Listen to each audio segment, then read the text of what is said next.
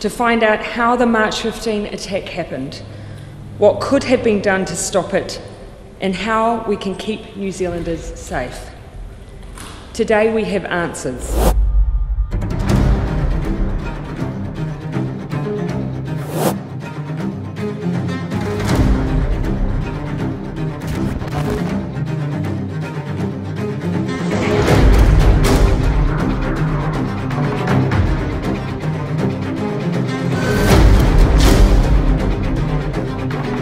Was not based on an informed assessment of the threats of terrorism associated with other ideologies. While the Commission made no findings that these issues would have stopped the attack, these were failings nonetheless.